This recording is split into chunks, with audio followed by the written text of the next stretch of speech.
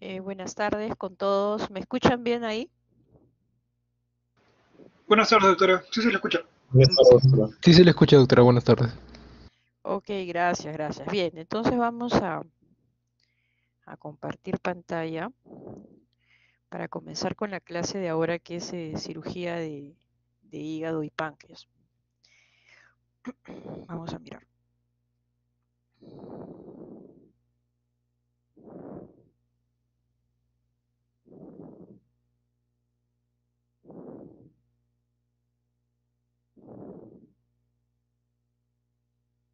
Eh, bien, ¿ven el PPT? Sí, doctora, sí, es PPT. Bien, entonces vamos, vamos a empezar. En primer lugar, este, la clase es sobre anatomía quirúrgica de hígado y páncreas y los objetivos fundamentales de la clase. Yo, yo entiendo y seguro que todos habrán leído ya, porque la clase está colgada desde el fin de semana.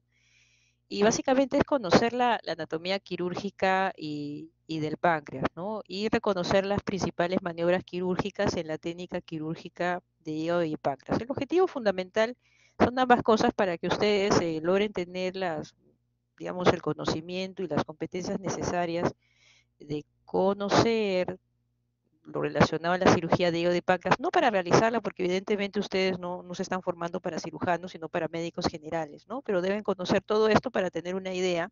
Cuando ustedes después, como médicos generales, tengan que de repente ver a un paciente y tengan que eh, hacerle alguna interconsulta, una especialidad quirúrgica, o tengan que manejar un paciente y más o menos saber en qué consiste la cirugía y algo explicarle al paciente más o menos en qué consiste.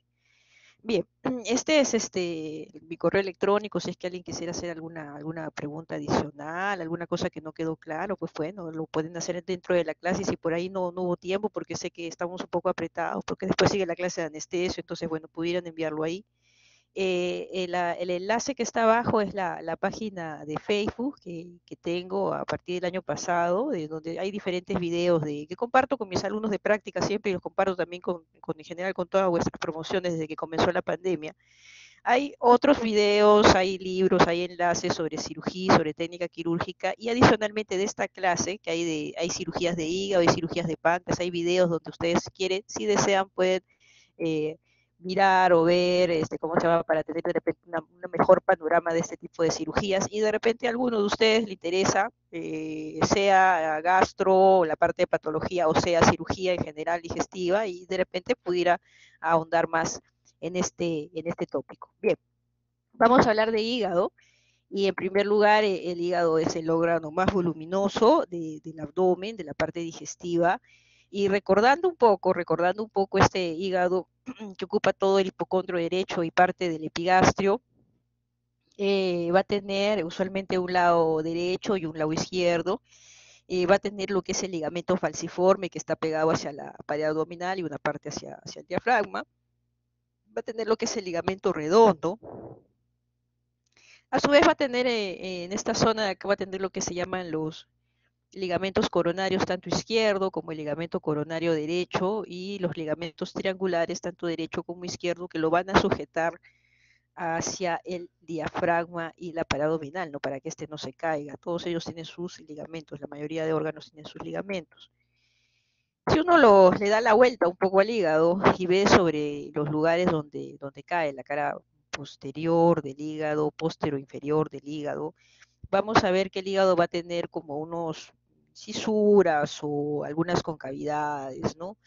Eh, si uno lo voltea, esto va a ser la, la, parte de la cava, este es el pedículo hepático, ¿no? Este portal, arteria hepática, vía biliar, la, la vesícula, y van a tener algunas incisuras o algunas concavidades donde eh, de alguna manera son eh, los órganos a los que tienen vecinos, ¿no? Y por ejemplo va a haber una impresión para lo que es la silueta renal, para lo que es el colon, en donde eh, seguramente ya habrán conversado en algún momento en secciones de colon, lo que es el ángulo, el ángulo hepático del colon. Eh, hay la impresión duodenal, ¿no? ¿Por qué? Porque cae justamente el hígado sobre estos, sobre estos órganos. Eh, en la parte posterior, igualmente, este hígado va a tener lo que es el lóbulo cuadrado, el lóbulo caudado, eh, va a tener este, a su vez una, una, impresión para lo que viene a ser el estómago. Bien, Entonces, cuando uno abre cavidad abdominal o este, entra por la paroscopía, no, yo entra por la paroscopía, entonces eh, lo que hace uno es tratar de, con alguna, algún separador, un diver especial, trata de llevar el hígado un poco hacia arriba, como lo ven acá, con la intención justamente de ver su, su pedículo, ¿no? Y obviamente no se ve así verde de todos los colores, sino se ve de este color, esta zona del pedículo, como lo ven acá, van a ver, van a ver esto de inicio y van a ver lo que es la, vesícula biliar para los pacientes que no se han operado de la vesícula biliar. Y este, eh, suben acá, esto viene a ser la continuación del, ligamento redondo.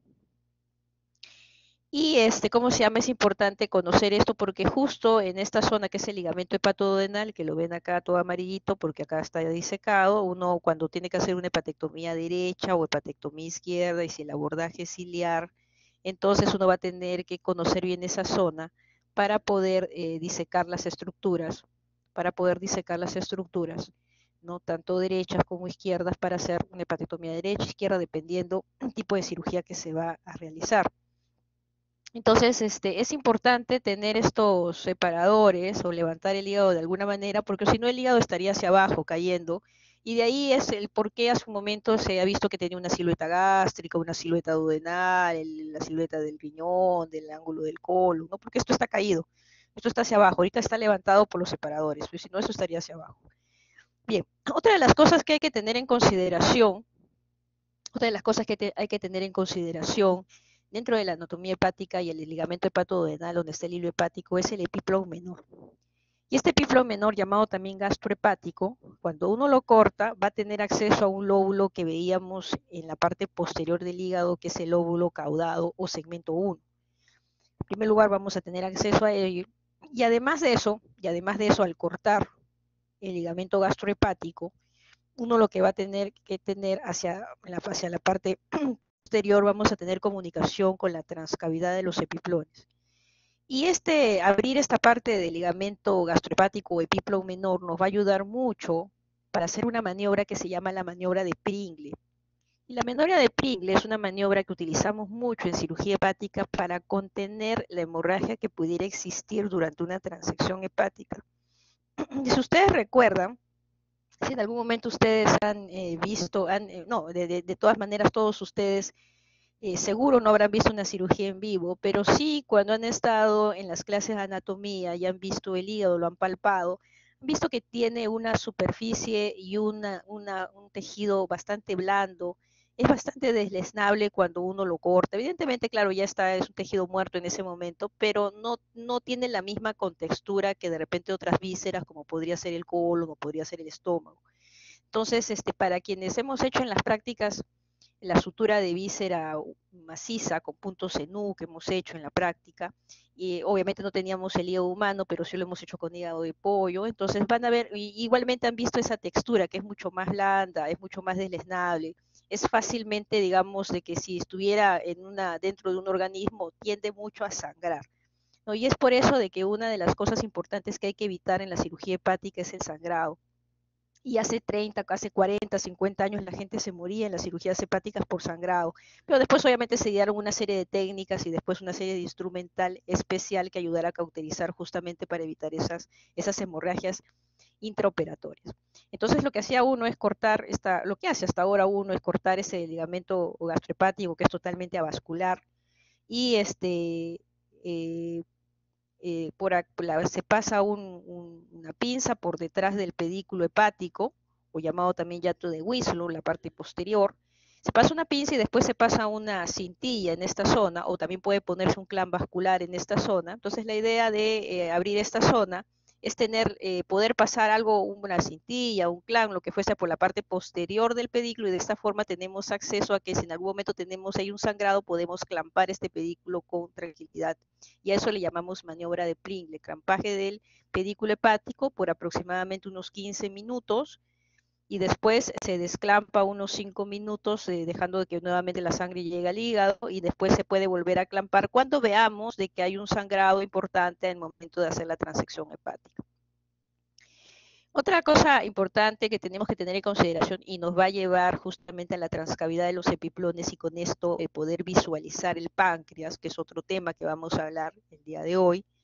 En, la, en el páncreas, el páncreas es un órgano evidentemente retroperitoneal y para poder tener acceso a él, para tener, acceso a él necesitamos dos maniobras, pero la primera maniobra que vamos a mencionar a propósito que tenemos la parte de anatomía aquí, es que eh, así como había el epiplón gastrohepático o epiplón menor, tenemos también el epiplón mayor o gastrocólico. Ese epiplón gastrocólico se tiene que cortar, ¿no? Se tiene que cortar cuando se hacen cirugías de páncreas, como lo ven acá, acá se ha tenido que cortar ese, ese epiplón gastrohepático, perdón, colo este gastrocólico, y así llegamos a la transcavidad de los epiplones y a la cavidad retroperitoneal y vemos todo el páncreas de toda su extensión, desde la cabeza, cuello, cuerpo y cola de páncreas. ¿no? Entonces ahí ya lo tenemos en acceso para poder hacer la resección de páncreas que tendríamos que hacerse a esta, la resección de la cabeza con una duodenopancreatectomía de Whipple o de repente una pancreatectomía distal con la exéresis del cuerpo y la cola del páncreas.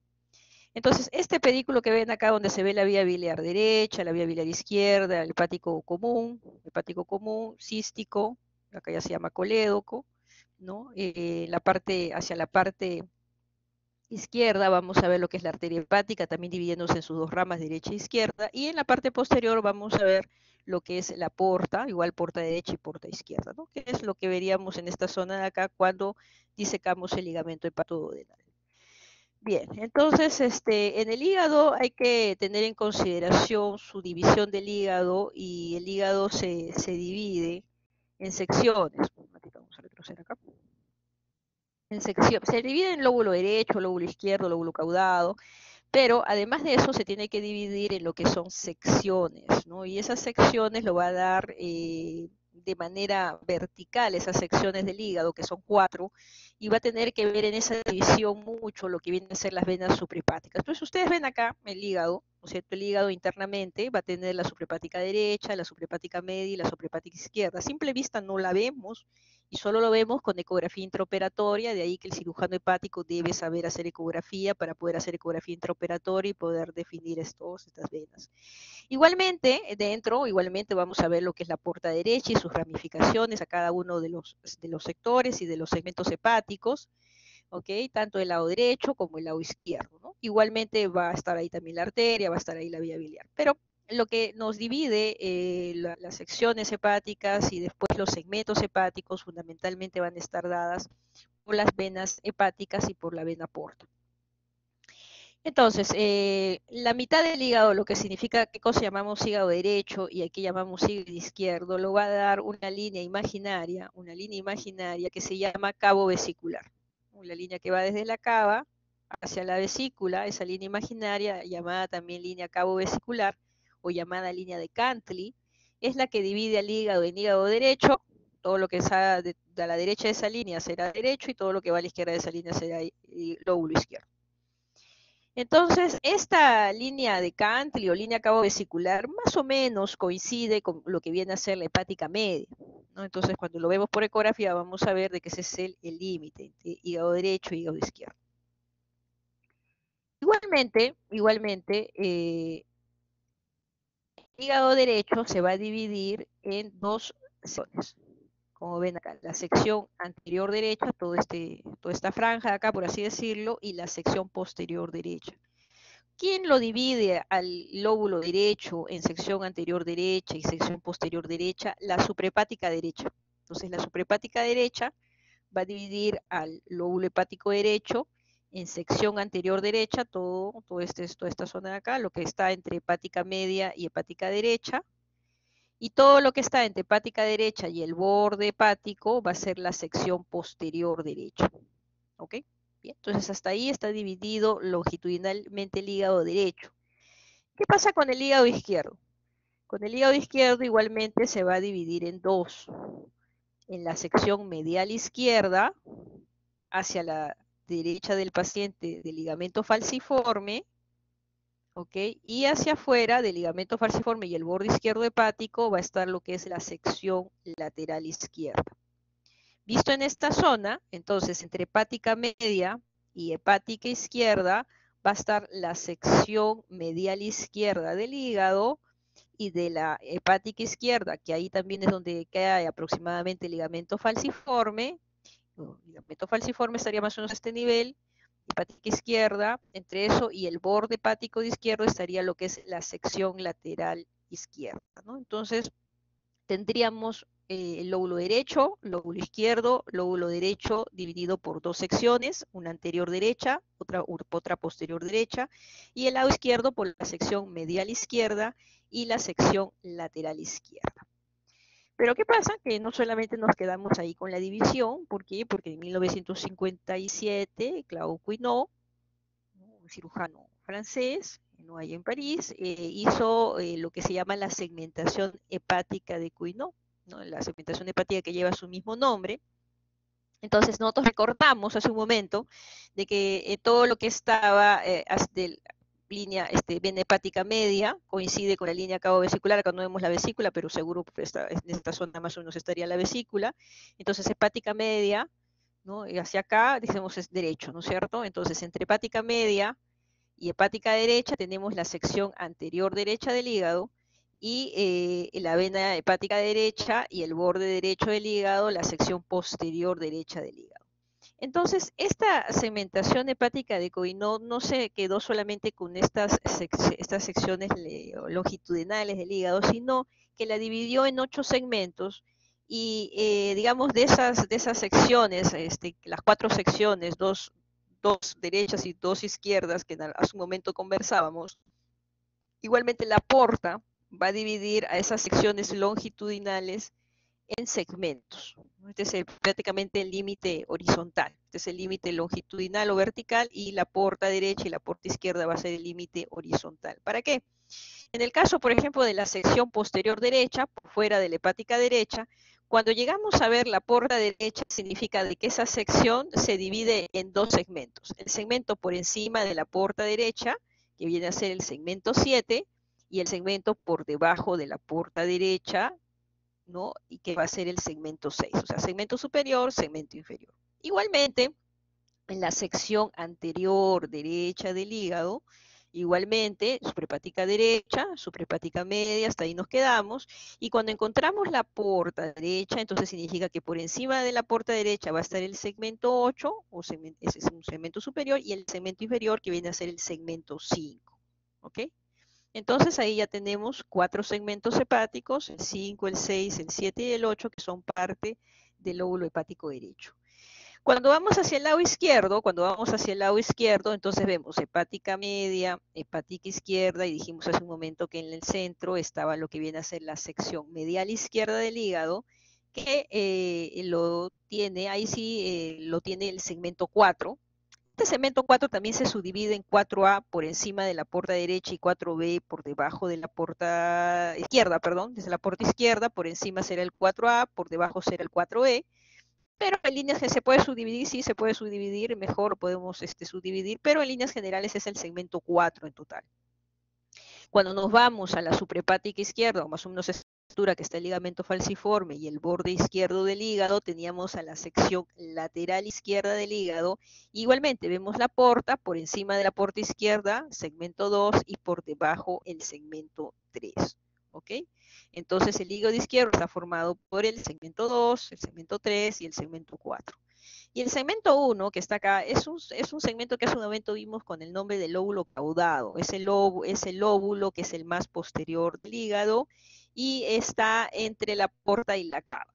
Entonces este, segmento posterior es el 1. Entonces el hígado, según Coinot, tiene ocho segmentos hepáticos acá está su distribución, a veces hay algunas mnemotecnias que, les ayudan a poder recordar estos segmentos, la verdad que es bastante sencillo de recordar. ¿No? Además de esto, recordar que el, hígado en la parte posterior, vamos a tener lo que es el ligamento retrohepático, como vemos acá, este, este es el, ligamento, el segmento más posterior, el lóbulo caudado, segmento 1.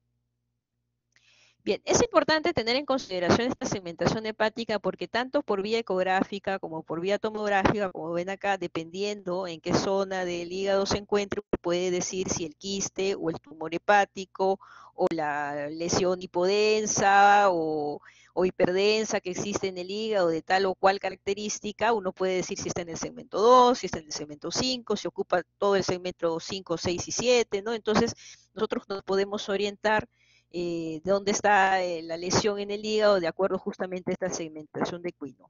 Y cuando ustedes vean tomografías, cuando ustedes vean las tomografías van a tener en cuenta lo siguiente. Si ustedes ven la cava, ¿no? Acá está, eso es lo que se ve del, pulmón, ¿no? Ya se verá el, seguramente un corte, más, un corte más intermedio, se vería algo del, diafragma, que casi no, no se ve mucho por tomografía. Eh, vamos a ver lo que es la cava, esta es la aorta, esta es la cava, y la cava va a tener su prepática derecha, su prepática media y su prepática izquierda. Ok, entonces cuando vemos así, significa que estamos viendo los segmentos superiores entre eh, las venas cava, entre las venas suprepáticas, pero los segmentos superiores. No vemos porta porque la porta está más abajo. Entonces, ¿qué significa?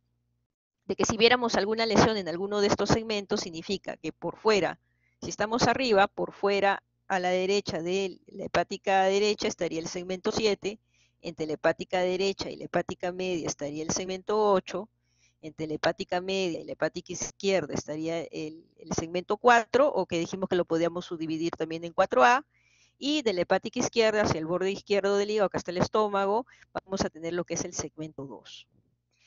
Y ya cuando vamos bajando más, obviamente van a, van a haber varios cortes hasta que lleguemos a la porta derecha, por ejemplo, que ya se está viendo acá. Entonces, cuando ya vemos la, la y acá seguramente pronto también se verá la porta izquierda, cuando, cuando ya vemos porta, cuando ya vemos porta principal, acá está dividiéndose en derecha, seguramente más uno va viendo mejor los cortes y seguramente también comenzará a ver la izquierda. Entonces, cuando uno ya ve porta, significa que en el territorio que antes era la continuación de la, de la derecha, pero ya en la parte inferior tenemos al segmento 6 fuera, ¿no? En la parte, la sección anterior derecha viene a ser el 5, y acá vamos a encontrar seguramente pronto la vesícula biliar, eh, igualmente vamos a ver eh, ligamento falciforme, ¿no? que viene a ser lo que viene a ser lo, que viene a ser también la suprepática izquierda. Entonces, entre media e izquierda vamos a encontrar el 4B, el segmento inferior, y el segmento 3. ¿no? Y acá mejor, entre porta y cava, el más posterior que es el segmento 1. ¿no? Igualmente acá se ve, incluso se ve ya la vesícula biliar, y eso nos va a decir que la vesícula biliar va a dividir, ¿no es cierto?, derecho, de izquierdo, ¿no? Y si estamos, ya vimos la porta más arriba en los cortes, entonces acá nos queda que la primera parte va a ser el segmento 5 y eh, la otra sección va a ser el segmento 6. Y hacia la izquierda vamos a tener el 4B, ligamento falciforme y el segmento 3, ¿no? Entonces, igualmente tenemos importante que ver, es muy importante ver la tomografía para poder, o la ecografía para poder dilucidar de qué segmento estamos hablando. Entonces, los segmentos superiores, ¿no? Van a ser fundamentalmente 7, 8, 4A y 2 y los segmentos inferiores a la porta 6, 5, 4B y 3. Además, ¿por qué es importante conocer la segmentación hepática? Porque en el año 2000 se hizo la determinación de Brisbane para lograr una nomenclatura exacta en cuando, por ejemplo, ¿no? cuando nosotros decimos gastrectomía total o gastrectomía subtotal, sabemos a qué nos estamos refiriendo, qué parte del, estómago se está retirando. En el hígado habían diferentes terminologías en diferentes partes del mundo, entonces se optó porque se unificaran todas estas nomenclaturas cuando se hiciera una resección hepática, y es así, y es así que eh, se ideó lo siguiente, ¿no?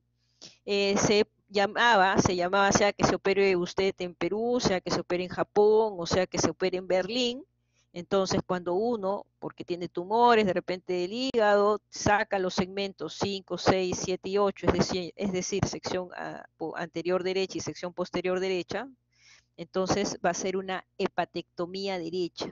¿ok? Así se va a llamar. Entonces, hepatectomía derecha significa que ese paciente le sacaron el segmento 5, 6, 7 y 8, y obviamente sabiendo eso uno tendrá que preguntar, seguro habrá habido un tumor, ¿no? Habrá que preguntar qué es lo que ha pasado y cuál ha sido la causa de esa cirugía. Cuando vamos a retirar el segmento 4, 4A, 4B o todo el segmento 4, 2 y 3 y el segmento 2 y 3, es decir, el hígado izquierdo, estaríamos hablando de una hepatectomía izquierda. Cuando se saca el segmento 5 y el segmento 8, es decir, la sección anterior derecha del hígado, se llamará la cirugía seccionectomía anterior derecha. Igualmente, ¿no? Cuando vamos a sacar la sección posterior del hígado derecha o segmento 6 y segmento 7, se llamará seccionectomía posterior derecha. Cuando uno va a sacar todo el segmento 4, ¿no? Todo el segmento 4, entonces le llamamos seccionectomía medial izquierda. Y cuando sacamos la sección lateral izquierda o el segmento 2-3, lo llamaremos seccionectomía lateral izquierda. ¿no? Entonces, bastante, bastante sencillo de recordar si nos aprendemos obviamente la segmentación del hígado. Si se va a sacar un segmento del hígado, uno tiene que especificar qué segmento es, porque no es lo mismo sacar el segmento 2 que sacar el 8, sacar el 4. Entonces, si es una segmentectomía, uno tendrá que ponerle segmentectomía del 6.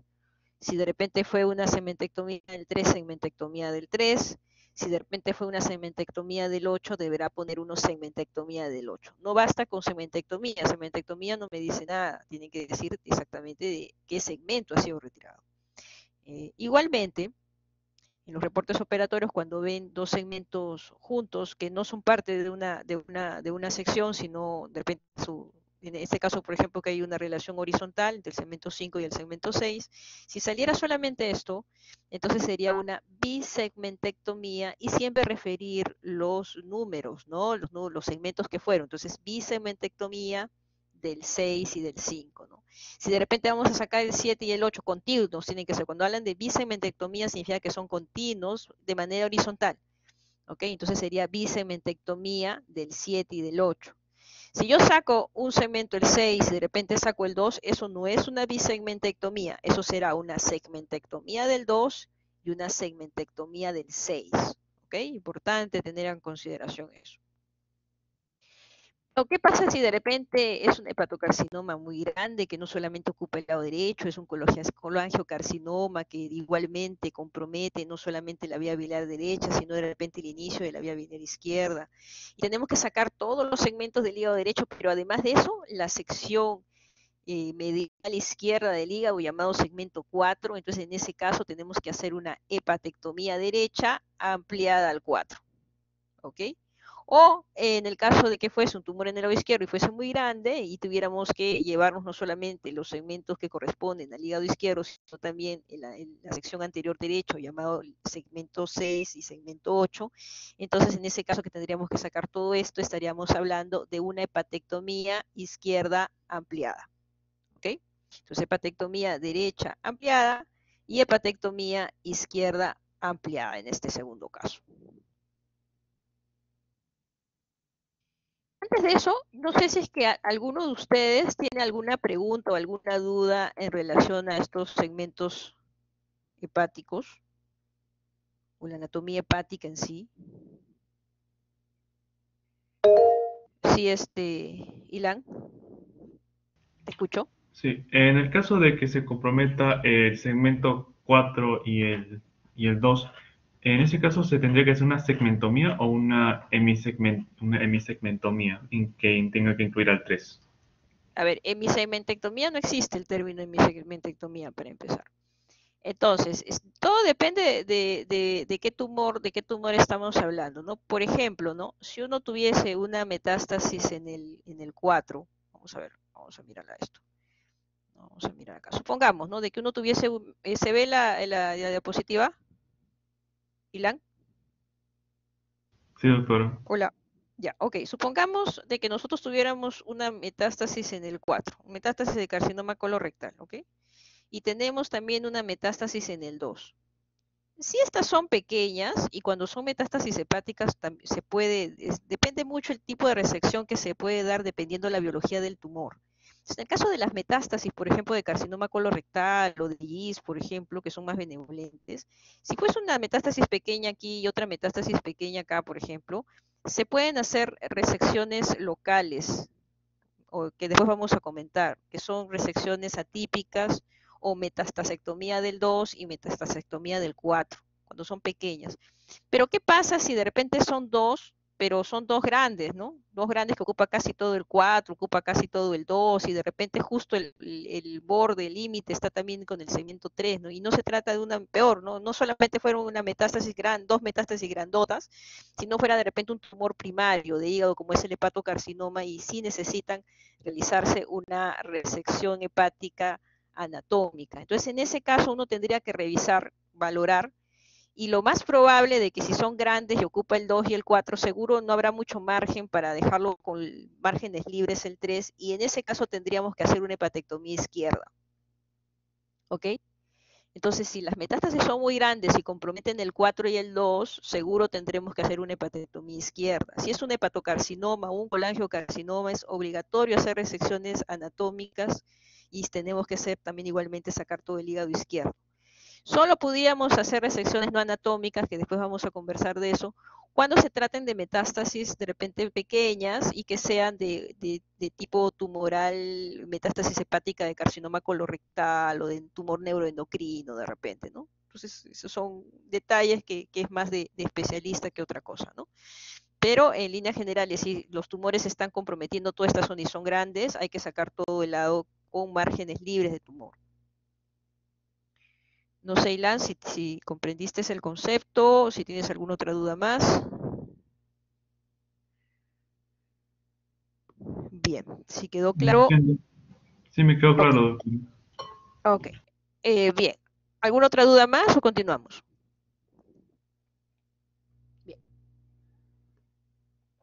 Vamos a continuar entonces.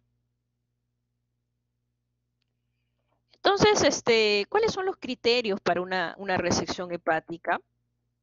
Y lo primero es tener, eh, no tanto es lo que salga del hígado, sino cuánto le queda al hígado. Es decir, cuánto es el volumen residual funcional en el hígado. Por ejemplo, ¿no? si yo voy a hacer una hepatectomía derecha, yo tengo que saber cuánto de volumen residual le queda en el lado izquierdo o si voy a hacer una hepatectomía derecha ampliada, de repente tengo que saber cuánto es el volumen que me queda el 2 y el 3, si va a ser suficiente para el paciente, para que no, haya una, no haga una insuficiencia hepática severa y que fatalmente fallezca el paciente por una insuficiencia hepática. Es importante conocer la función hepática del hígado.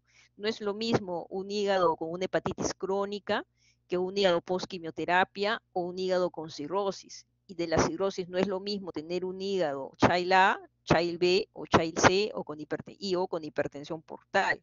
Entonces, depende de eso también vamos a tener que dejar más o menos parénquima hepático o pudiera estar contraindicado las resecciones hepáticas, por ejemplo, en un paciente child C con el hígado cirrótico y, y, es un child C con la peor función hepática, ese paciente no puede entrar a ningún tipo de resección hepática. Eh, tenemos que tener en cuenta ausencia de metástasis estrepáticas si estamos hablando de tumor, en aquellos tumores en donde no es factible manejarlo con otras metástasis hepáticas. ¿A qué me refiero? Si es una metástasis de colon, por ejemplo, tiene una cirugía de colon, colon y tiene una metástasis hepática y también tiene metástasis pulmonar, si se puede controlar la metástasis estrepática, es decir, la pulmonar, sea por vía quimioterapia o sea por vía quirúrgica, podemos tener opción todavía de hacer, de hacer algo por ambos tipos de metástasis. Diferente a aquel paciente que de repente eh, no es controlable el problema del, pulmón, ¿no? Tiene su metástasis hepática, tiene la metástasis del pulmón, pero metástasis del pulmón es múltiple, no, no hay forma ahí de operar. Entonces hay que valorar mucho. Si la enfermedad no es trepática, no es posible controlarla, tampoco se puede operar el paciente. Igualmente, ¿no? si hay trombos tumorales en la vena cava o en la puerta principal, hay ciertas restricciones, probablemente no se pueda operar el paciente porque ya la enfermedad ha avanzado más. Y es importante conocer también el estado general del paciente. No es lo mismo un paciente como, digamos, como cualquiera que de repente no tiene ninguna enfermedad de fondo o aquel hipertenso controlado, que aquel paciente con un EPOC severo o una enfermedad coronaria de de base crónica, donde tiene una insuficiencia cardíaca importante y pudiera usted someterle una resección hepática y el mismo estrés quirúrgico podría no matarlo de la resección hepática, pero sí por todo el estrés que sufrió, de repente puede infartarse al paciente al día siguiente o descompensarse del tema cardíaco. Entonces es importantísimo valorar el estado general si va a poder aguantar este tipo de cirugía o no. Y eso, bueno, obviamente tendrá que ser evaluado con los riesgos quirúrgicos.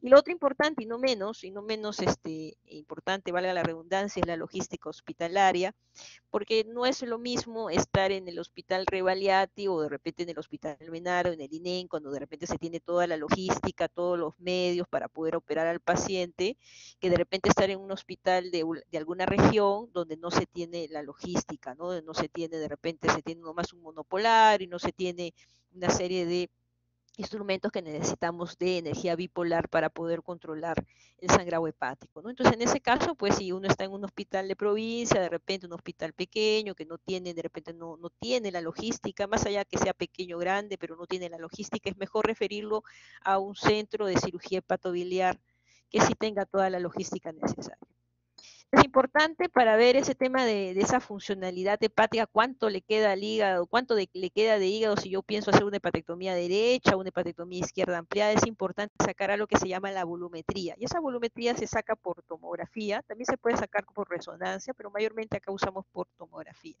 Importante que para cirugía hepática se tiene que operar con ecografía intraoperatoria, eh, conocer, habíamos comentado algo sobre la maniobra de Pringle, eh, la presión venosa central debe estar en 5 o 6 o un poco menos. Eso hay que coordinar siempre con el anestesiólogo durante la transección hepática para que haya menos sangrado, sangrado hepático. Siempre que uno saque una parte del hígado hay que asegurarse que haya un pasaje inflow, es decir, que tenga la parte que va a quedar del hígado, que tenga una adecuada irrigación de la porta y arteria, que es el inflow hacia el hígado, y también que no haya ningún problema con el outflow o la suprepática del del, hígado que está quedando después de la resección. Bien, entonces, este, cuando hablamos de, volumetría hepática, ¿no? cuando hablamos de volumetría hepática, es importantísimo uno, cuando uno va a operar a un paciente y sea esto una patología benigna o una patología maligna y se tenga que hacer una resección hepática, entonces siempre hay que, en lo, a no ser que sea de repente si vamos a sacar un segmento, dos segmentos o, o tres segmentos, de repente ahí no sería necesaria una volumetría hepática por tomografía, pero cuando vamos a hacer una hepatectomía derecha, una hepatectomía izquierda o una hepatectomía derecha ampliada o una hepatectomía izquierda ampliada, en esos casos con un hígado eh, normal, digamos, o, cirrótico, chaila o, o post-quimioterapia, es importante eh, sacar esa volumetría hepática. Y esa volumetría hepática se manda en la orden de tomografía, y es importante tener en cuenta esta fórmula, ¿no? Eso hay un software donde van a ir marcando y lo que los datos que le van a dar el radiólogo es cuánto es el volumen total del hígado, cuánto es el volumen, usted le tiene que decir, ¿no? Que si va a ser una hepatectomía derecha ampliada, por ejemplo, vamos a ver, este, si va a ser una hepatectomía derecha, por ejemplo, acá hay un tumor que está comprometiendo segmento 5, 6, 7 y 8, ¿no? ¿Qué cosa vamos a hacer? Vamos a hacer una hepatectomía derecha. Entonces, eso tenemos que consignar en, la solicitud de tomografía, donde lo que queremos es el volumen de todo el hígado, queremos el volumen del tumor, porque es el hígado no funcionante, y queremos tener el volumen residual funcional, es decir, todo el lado izquierdo y el segmento 1. Entonces, el radiólogo nos da esos volúmenes y nosotros a través de esta fórmula podemos hallar cuál es el volumen eh, residual funcional, es decir, todo lado izquierdo y el 1 que le quedaría en relación al hígado total y según eso podemos ver que si estamos hablando de un hígado sano, eh, digo sano que no tiene ninguna hepatopatía de fondo, entonces lo mínimo que podemos dejar es el 20%, es decir, si pusiéramos hacer esa hepatectomía derecha y tenemos en el lado izquierdo más del 20% en un hígado normal, procede la hepatectomía derecha, si no, no podemos hacerla todavía.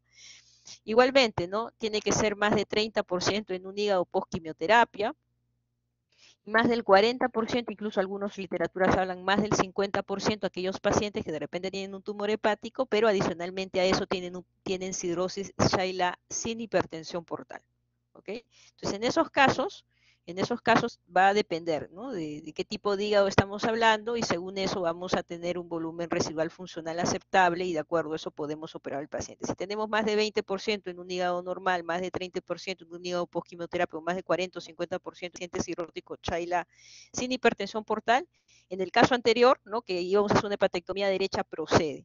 Pero ¿qué pasa cuando eso no es factible? Es decir, cuando uno calcula eso, lo manda a la tomografía y resulta que nos sale que en el hígado izquierdo lo que queda es en el hígado normal de repente 15% o en el hígado post-quimioterapia 20%. Entonces, en esos casos tenemos que hacer algo que ayude a que eh, ese remanente hepático crezca, ¿no? Por ejemplo, en este caso, este paciente tenía un tumor en esta zona, un tumor en esta zona, no se ven más, pero seguro más abajo tenían otros tumores en todo ese lado y querían sacar todo el hígado derecho y dejar el hígado izquierdo.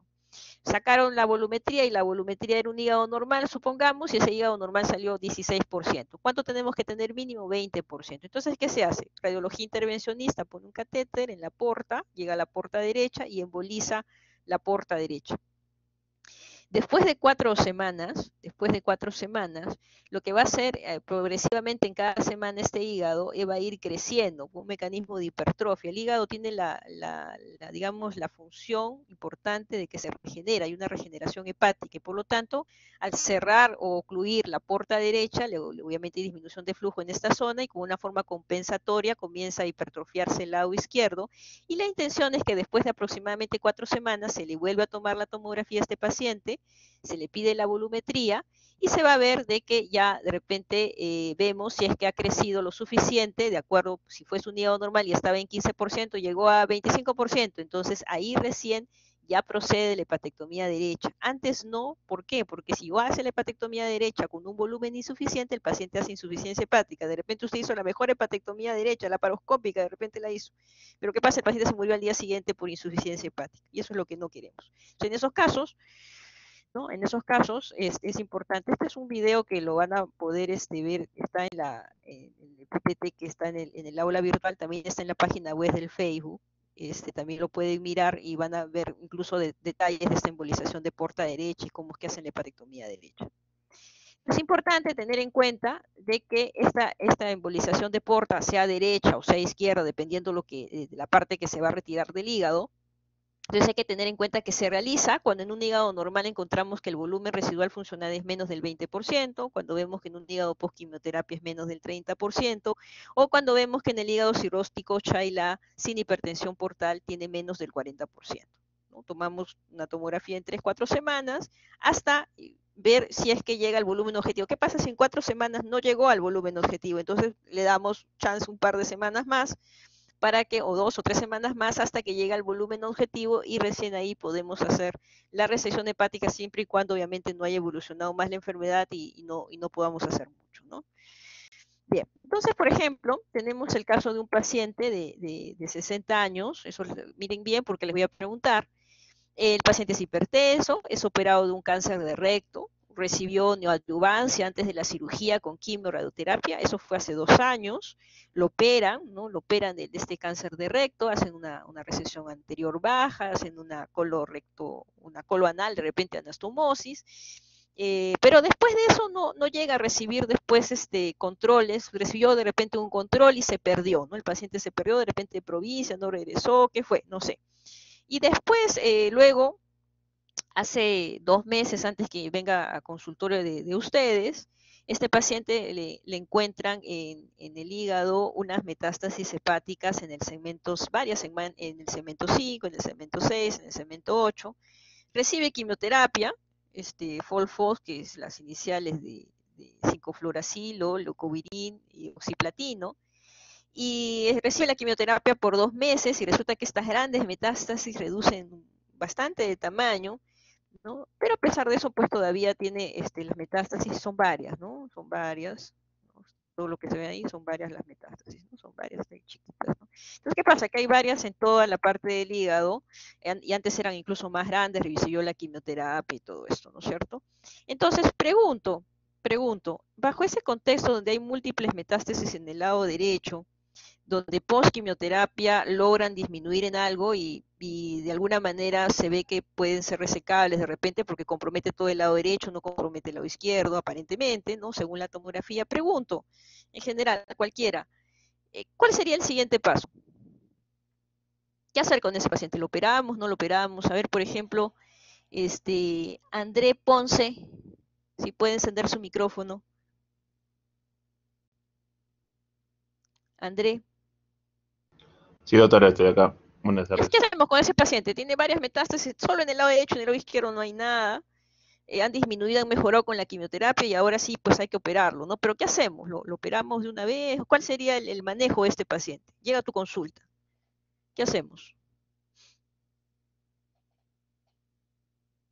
Tu micrófono, André. Mm, ¿Se, se le opera, doctora? ¿Qué haces? Pues dime, pues cómo, qué, qué pones, se le opera, ¿qué, qué haces así? Tú estás con el paciente ya, y se va a operar. ¿De qué me va a operar, doctor? Te dice el paciente. ¿Qué me va a hacer? André, no te escucho.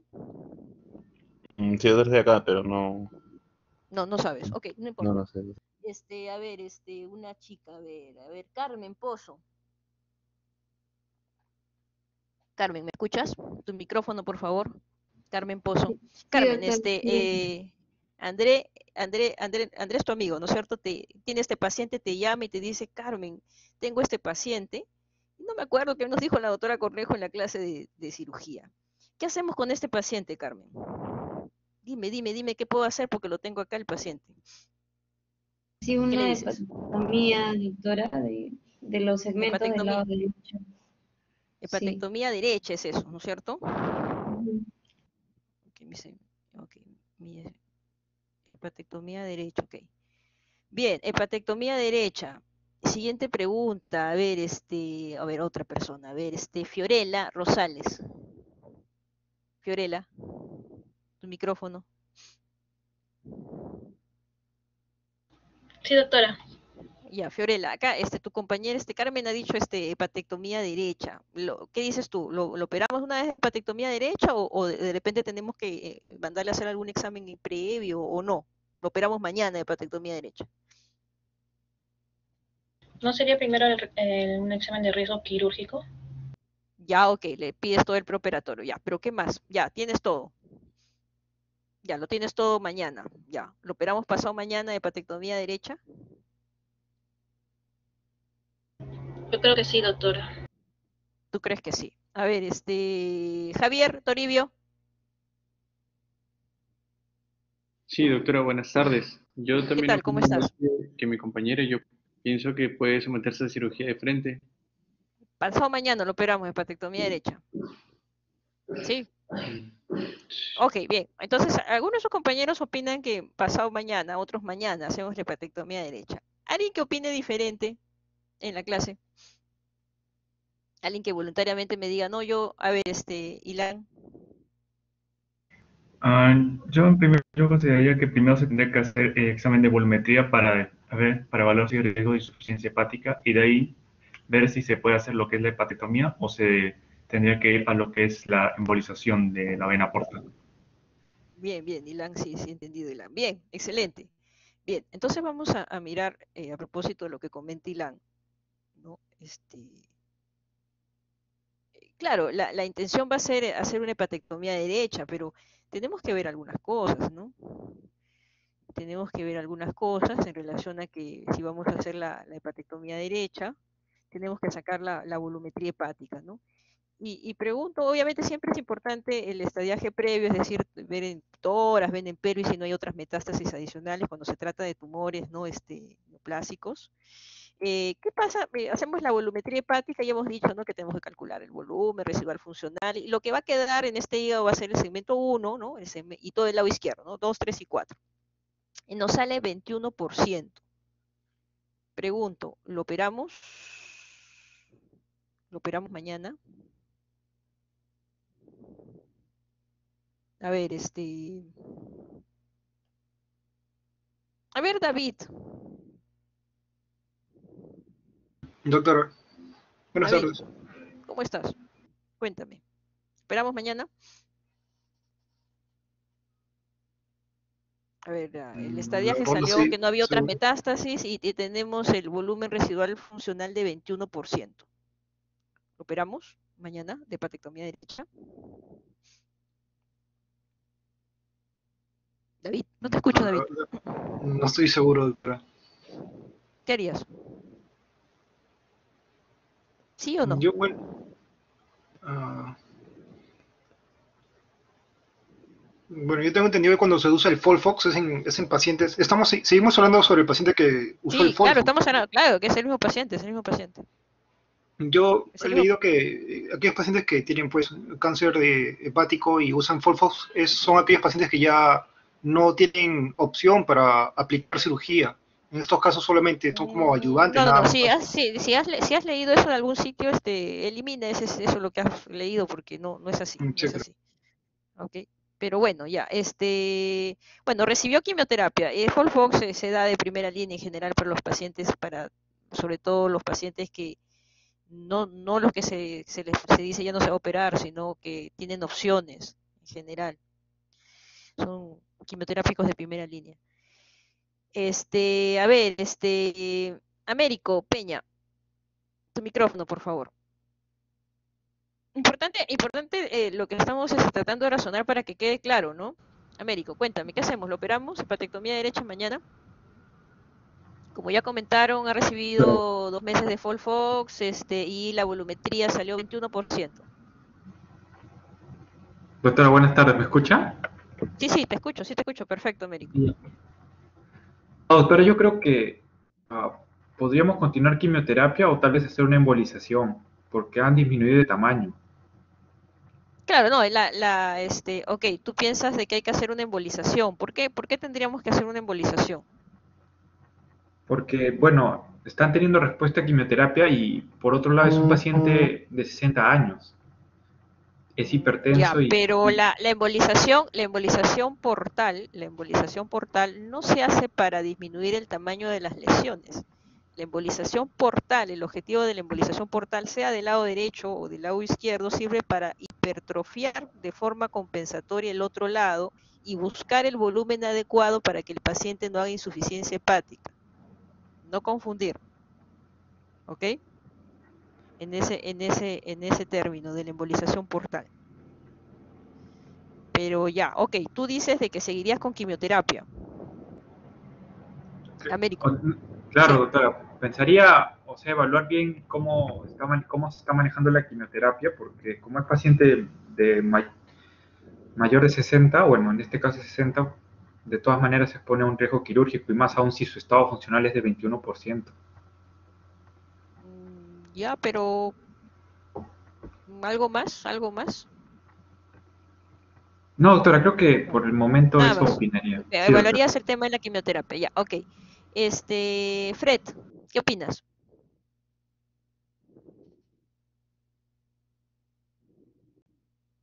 Fred Pita.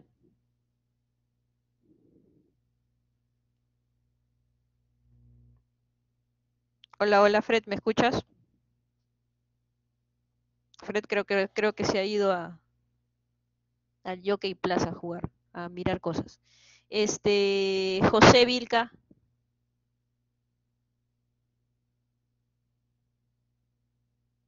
José, si puedes prender tu micrófono, José Vilca.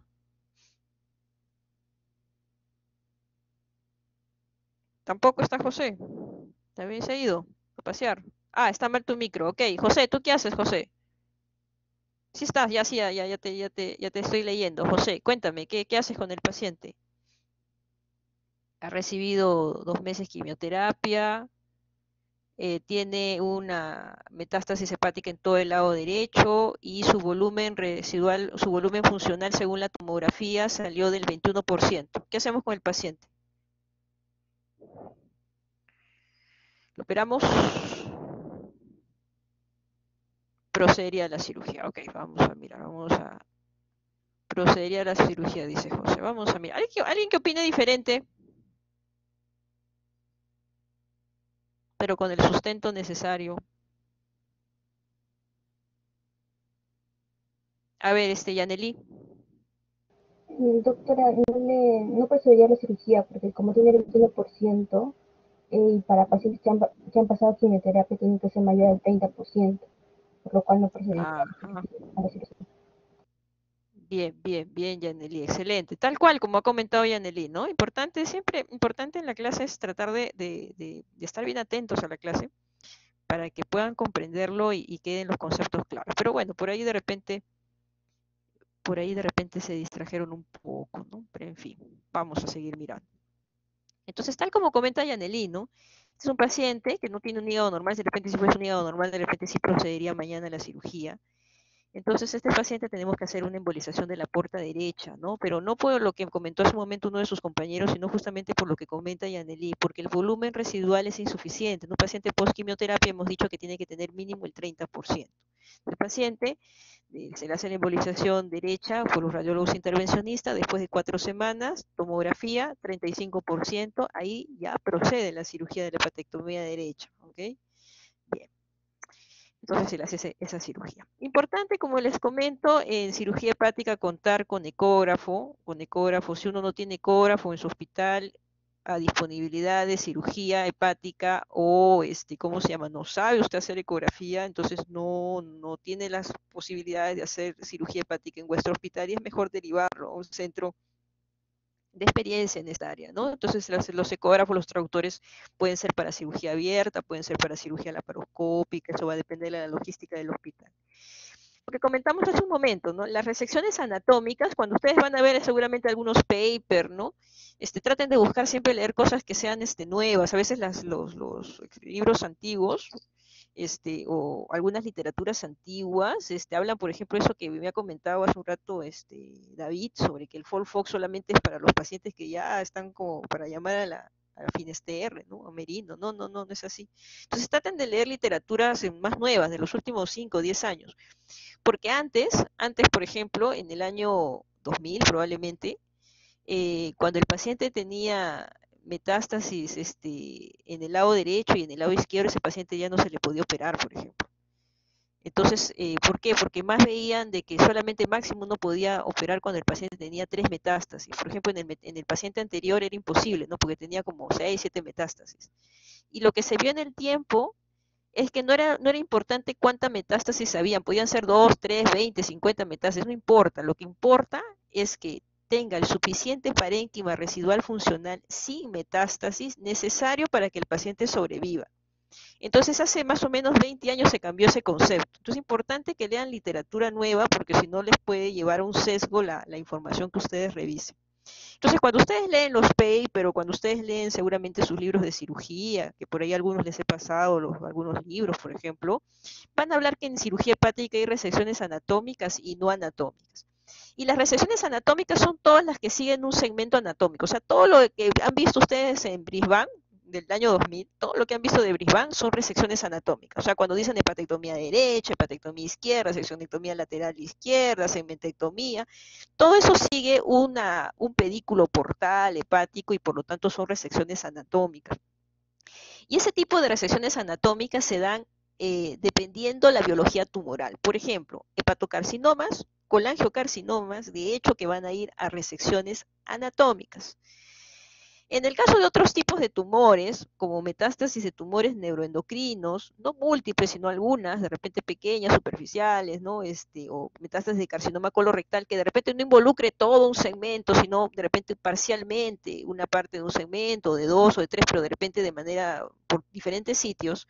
En ese caso, cuando son metástasis hepáticas, pudieran hacerse resecciones no anatómicas, ¿no? Y esas resecciones anatómicas no siguen un segmento, sino le dan un margen de un par de centímetros a la lesión, tanto en la zona periférica como en la zona profunda, y uno puede hacer uno, lo que se llama una metastasectomía o resección no anatómica, ¿no? Por ejemplo, ¿no? Si fuera una metástasis hepática de acá, tienes una aquí, tienes de repente otra acá y tienes otra acá pequeña, ¿no? Entonces puedes hacer estas resecciones hepáticas no anatómicas porque en ese tipo de biología tumoral, como son las metástasis hepáticas, carcinoma colorectal, no hay, no hay, no hay tanta posibilidad de que esto recurra. Sin embargo, cuando son hepatocarcinomas o son colangiocarcinomas, sí hay que sacar todo el segmento, porque su biología tumoral, si uno le saca solamente una resección no anatómica, seguro va a recurrir en el borde en menos de un año. Y eso va a depender mucho de la biología tumoral. Pero bueno, eso es un tema más, más, este, más profundo, pero importante conocer que hay resecciones anatómicas, todo lo que hemos visto en el RIBAN, y resecciones no anatómicas cuando son resecciones que no siguen un segmento y solamente son resecciones locales del tumor que pudieran existir, ¿no? Como en este caso que están haciendo varias, hay acá otra, una metastasectomía, otra aquí, otra que están realizando acá. Las incisiones pueden ser este, incisiones para cirugías hepáticas y patobiliares, pueden ser incisiones medianas, pueden ser incisión de Macucci, pueden ser la incisión de Mercedes, en inspiración justamente al logo de Mercedes-Benz, pueden ser incisión de Chevron o su costal eh, derecha-izquierda ampliada, eh, la maniobra de Pringle, que hace un rato comentamos, que abrimos el gastrohepático, epiflow menor, y podemos pasar el dedito por, el, por detrás del yato de Whistler y colocar acá alguna cintilla, o clampar por último el pedículo, como lo ven acá, tanto por abierto por la paroscópica se puede hacer. Se ocluye, eh, se clampa el pedículo hepático 15 minutos y de isquemia y se descansa 5 minutos. Eso se le dice a la enfermera que cuente para que nos avise, y no lo hacemos siempre, siempre dejamos una cintilla de reparo, a veces no la necesitamos, pero cuando es necesario, necesario porque comienza a sangrar el hígado, si la utilizamos y la utilizamos de esa manera, ¿no? 15 minutos de clampaje, 5 minutos de isquemia, que es la oclusión intermitente. Puede ser continua, también pudiera ser, pero usualmente utilizamos más esa maniobra de Pringle intermitente. Importante tener diferentes instrumentales para lo que es la transección hepática. Esto, por ejemplo, es el CUSA y es un disector ultrasónico que ayuda a pelar todo el hígado y pelar prácticamente todos los vasitos. Eh, destruye la célula hepática, pero todo lo que es de colágeno no lo destruye. De ahí importante porque de alguna manera esculpimos, por así decirlo, con este aparatito, eh, los pedículos hepáticos y podemos ahí ya ir clipándolo o poniéndole los nudos suficientes para que no sangre o no haya una fuga biliar.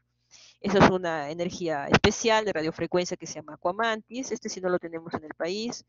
Eh, diferentes tipos como el argón, ¿no? el argón eh, bipolar, este es el CUSA que hace un rato hemos comentado, tanto para cirugía abierta y también piezas para la paroscopía, eso va a depender, como les comento, de la logística del hospital. A veces tampoco en Revalete no se tiene todo, pero cuando se tiene, pues bueno, se puede hacer, sobre todo en la parte de la paroscópica el estado general del paciente, importantísimo, ¿no? Tener en cuenta el tipo, el, importante no tener esto de que la edad marca el estado general del paciente, porque yo puedo tener 60 años de repente y solamente soy hipertenso controlado, pero de repente tengo 40, un paciente de 40 años y el paciente 40 es hiper, es, es cardiópata, tiene de repente una cardiomiopatía dilatada, tiene un problema de válvula, de repente por una enfermedad reumática en el pasado, entonces, la edad no marca el estado general del paciente. Lo que marca el estado general del paciente es las comorbilidades que éste tenga. Y según eso uno podrá ver cuál es su estatus performance. El abordaje de las resecciones hepáticas pueden ser iliares o intraglisonianos, suprailiales o abordajes anteriores. ¿A qué me refiero? El abordaje iliar, el abordaje iliar Vamos a ir, eh, esto es el pedículo hepático, ¿no es cierto? Estaba acá encima el ligamento hepatodenal. Y si yo, por ejemplo, voy a hacer una hepatectomía derecha, voy a disecar la arteria, voy a disecar la arteria hepática derecha, voy a disecar eh, la vía biliar derecha, voy a poner las ligadoras o clips, dependiendo si estoy en abierto en la paroscópica, y la porta derecha igualmente la voy a disecar y le voy a poner sus ligaduras, de repente alguna sutura punto transfixiante, o si tengo sutura mecánica, carga blanca, podemos poner lo que es la carga vascular, ya lo comentamos también en clase de práctica, entonces ahí ponemos esta clipadora, sutura mecánica en la hepática derecha y bien. Entonces, el abordaje iliar es cuando uno se va al hilo hepático. Uno se va al hilo hepático y deseca el hilo hepático, o sea, el lado derecho o sea, el lado izquierdo que vamos a sacar cuando estamos hablando de una hepatectomía mayor, ¿no? Eh, el abordaje suprailiar o extraglisoniano, es decir, no lo vamos a trabajar en el hilo, el hilo no lo tocamos. Entonces, en el hígado van a haber ciertos puntos anatómicos que nos va a ayudar para hacer huequillos, por así decirlo, huecos en el mismo parénquima hepático para clampar ese porta derecho, esa porta izquierda o esa porta anterior derecha, no sé, el pedículo que vayamos a clampar dependiendo del tipo de patectomía o seccionectomía que vamos a hacer. Entonces lo, eh, lo clampamos intrahepáticamente, ¿no? Por ejemplo, ¿no? Esto es el, acá abajo está el pedículo hepático, no lo tocamos. Y en el hígado vamos a tener acá, acá está eh, la vesícula biliar, acá está la vesícula biliar, sacamos la vesícula biliar si es que la tiene. Y en la parte, digamos, lo que venía a ser la parte del lecho hepático, la parte inferior, ahí hacemos un hueco, ¿ok? Y por debajo, por debajo de, de lo que viene a ser el surco de Rubier, ¿no? Por debajo del surco de Rubier hacemos otro huequillo. Y lo que hacemos es profundizar ese huequillo y posteriormente ponemos esta sutura mecánica y clampamos intrahepáticamente todo el pedículo hepático derecho, porta derecha, arteria hepática derecha, vía biliar derecha. Entonces, este es un abordaje que no siempre hacemos, más nos gusta hacer el abordaje iliar, pero en algunas condiciones podemos hacer este abordaje suprailiar o extraglisoniano. Entonces, cuando clampan esto, lo que va a haber es un cambio de color, ¿no? ¿Por qué? Porque obviamente estás isquemizando el lado derecho del hígado, en este caso.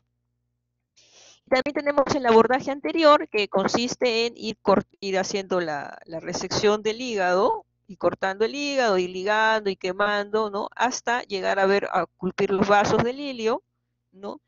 Y este, no hacemos una ligadura previa, ¿no? Ni, ni tampoco hacemos huecos en el hígado para hacer la ligadura del pedículo que vamos a sacar, y lo hacemos de esta forma. Mayormente eso nos va a ayudar en lo que es donante vivo, por ejemplo, importante la cirugía laparoscópica y cirugía abierta, realmente los resultados en tumores hepáticos malignos lo mismo, no hay ninguna diferencia en cuanto a recurrencia o sobrevida si hacemos por vía abierta o si por vía laparoscópica, si seguimos la técnica quirúrgica.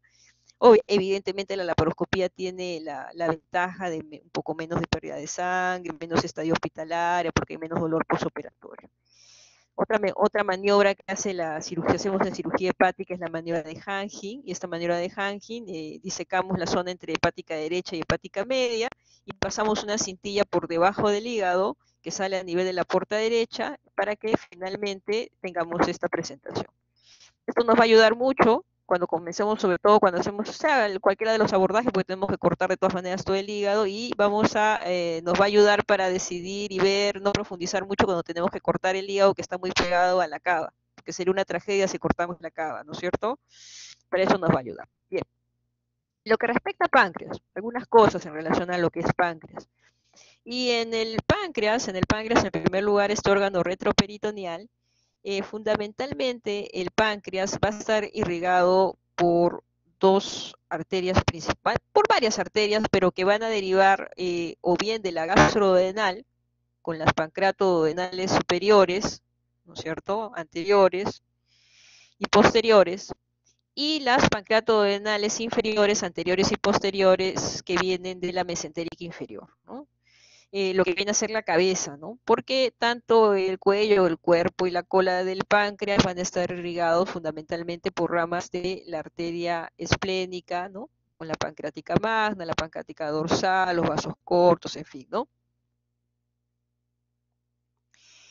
Cuando uno va a hacer una cirugía de Wifold, por ejemplo, que hace una resección de la cabeza del páncreas, todo el marco duodenal, porque la, circulación del páncreas, de la cabeza del páncreas, es pegada al duodeno y no hay forma de, sacar uno de otro. Y más aún más que pudieran en alguna cirugía muy excepcional dividirlas, pero cuando es un tumor es mejor tener bordes libres y es importante sacar todo eso, por un tema de irrigación común y por un tema de bordes libres de neoplasia. Entonces es importante, esto está hacia abajo, se y uno tiene que cortar, ahorita vamos a mirar que para, acá por ejemplo se ha hecho una maniobra, una maniobra de cochar, ahorita vamos a explicar en qué consiste. Entonces uno ve la parte posterior, por ejemplo, de, la cabeza del páncreas y del duodeno, vamos a ver cómo llega la, la viabilidad y vamos a ver también sus arterias pancreato-duodenales, ¿no? Una cosa importante a tener en consideración es de que esta es la arteria mesentérica superior, esta es la, arteria, la vena mesentérica superior, y la vena mesentérica superior se va a unir con el tronco de la esplénica formado por el eje de, la esplénica con la vena mesentérica inferior, entonces el eje de la esplénica con la vena mesentérica superior con, es el eje esplenoportal, y por debajo del cuello del páncreas se unen y van a formar lo que es la vena porta, ¿no? Ya está haciendo hacia el día, hoy hemos conversado de ello, ¿ok? Entonces, el lugar anatómico en donde se forma eh, la, vena, la vena porta es por debajo del cuello del páncreas y por la unión justamente de ambas venas, mesentérica superior y esplénica. Tener en cuenta esta cercanía de vasos mesentéricos superior vena y arteria en relación a la cabeza del páncreas, en relación al cuello del páncreas, para eh, tenerlo en consideración después cuando veamos las tomografías. Entonces, cuando hay tumores periampulares, sean estos de cabeza de páncreas, sean estos de segunda porción del duodeno, sean estos eh, tumores ampulares de repente, eh, necesitamos hacer eh, sacar lo que es lo, todo el duodeno, la cabeza del páncreas. en algunos casos es necesario sacar la parte distal del, estómago cuando no hay conservación de píloro, hay que sacar la vía biliar distal y después se tiene que eh, hacer toda una, reconstrucción, ¿no? Es una cirugía bastante compleja. Y esta cirugía se está fundamentalmente para estos tumores malignos periampulares y las contraindicaciones de esta cirugía es que se hubiera obviamente metástasis. Cuando si hay tumores eh, pancreáticos, sobre todo adenocarcinoma, Si hay metástasis, ya no hay mucha opción para un tratamiento quirúrgico y en esos casos sí son paliativos o quimioterapia. Igualmente, cuando hay un compromiso del, tumor es tan grande que compromete el tronco celíaco, hay compromiso de los vasos mesentéricos, también probablemente haya una contraindicación. Y cuando hablamos de, los, estadios del tumor de páncreas, ¿no? como en este caso tenemos un tumor, de páncreas en, esta zona, es pequeño, pero vemos tanto la vena y la arteria mesentérica superior que están libres, ¿no?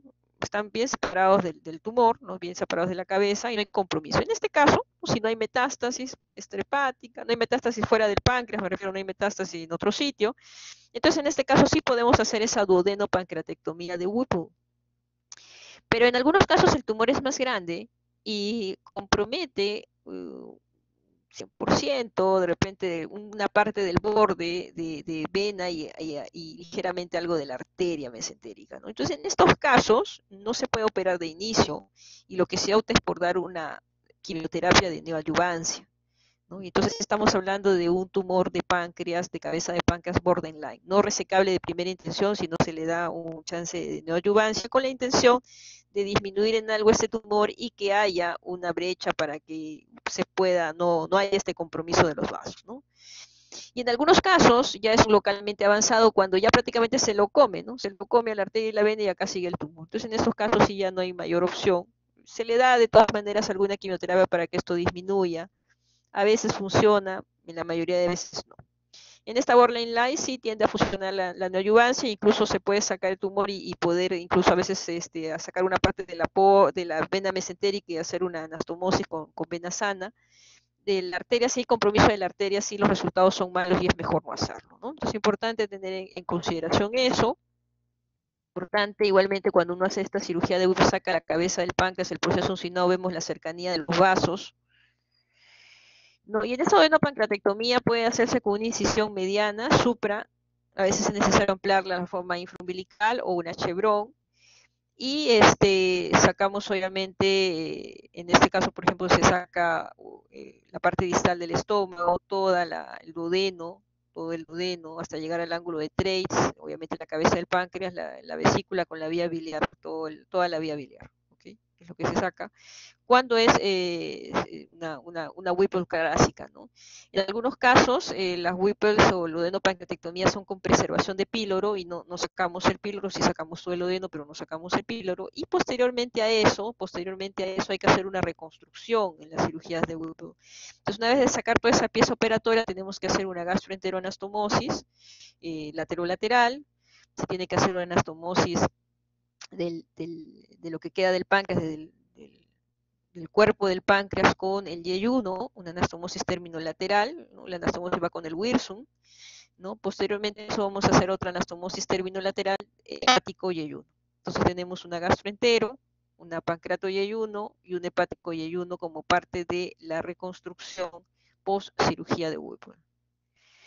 Eh, hace un momento comentamos de la, maniobra, algunas maniobras que se utilizaban para cirugía de páncreas, a veces es necesario esta maniobra de Catel, que consiste en llevar todo el colo derecho y transverso hacia la parte media, y si lo involucramos, además de eso, con lo que es la maniobra de Kocher, la maniobra de Kocher, acá tenemos el pedículo hepático, lo que estaba todo amarillito hace un momento que comentamos, no tenemos acá el duodeno, no lo va a poder ver, y esto es todo grasita. Lo que hace es cortar justo pegado hacia el duodeno en esta grasita retroperitoneal, y uno va liberando esa vascular totalmente entre lo que viene a ser el duodeno y cabeza del páncreas del eh, retroperitoneo. Entonces uno comienza a ir liberando totalmente a vascular, hay unos como unos globitos ahí, uno como que siga la línea punteada, levanta obviamente cabeza de páncreas y duodeno, y vamos a ver atrás cómo se ve claramente el riñón, la vena renal derecha, la vena gonadal derecha, la vena, la, vena cava, y si continuamos incluso podemos no, no ver la, la, aorta, pero sí la vemos como late la aorta, hay que tener cuidado con la aorta, no la vamos a cortar.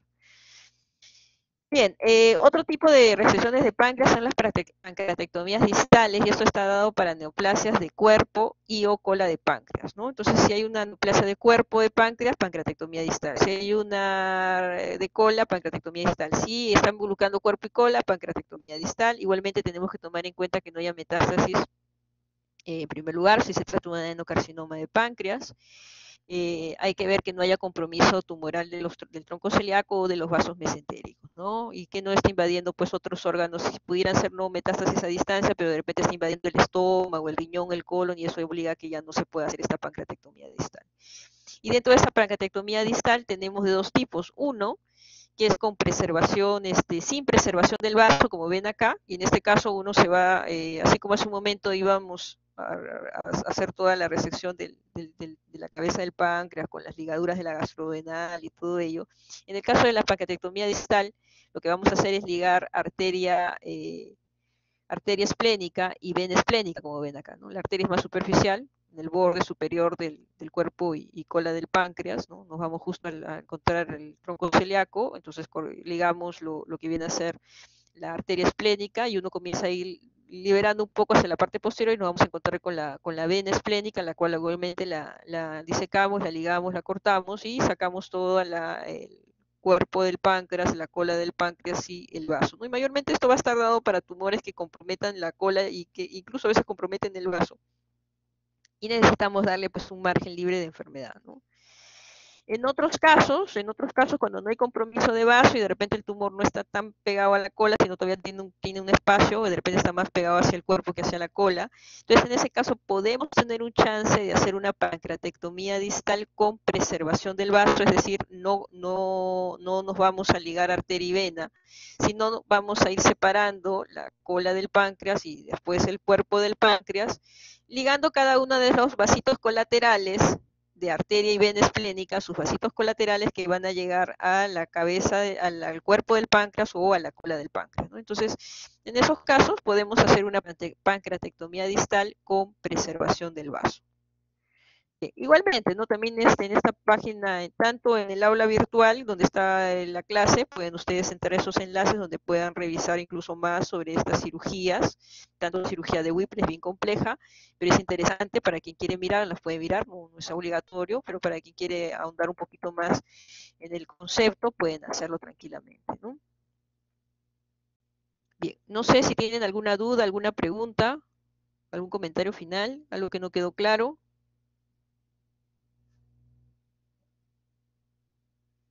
Bien, si todo quedó claro, espero que, respondan claro el día del examen también. Bien, chicos, entonces este, nos vemos hasta otra nueva oportunidad y creo que ahora continúa, creo que tienen que entrar al enlace de la clase de anestesio, creo yo, ¿no? Bien, chicos, nos vemos. Hasta luego. Chao, chao. Gracias, doctora. Hasta luego. Ya, chao, cuídense. Estudien.